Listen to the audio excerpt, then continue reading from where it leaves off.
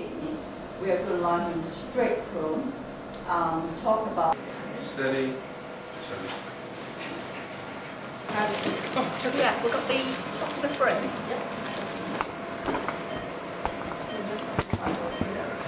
Yeah, fine.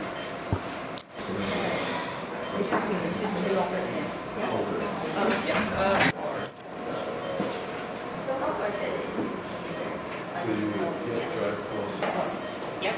Yep, and now you can pan it. And that's. So, So that's the the view. midline. This- crosshairs. So um, you'll click crosshair calibration, and then it might be, Yeah. Yeah.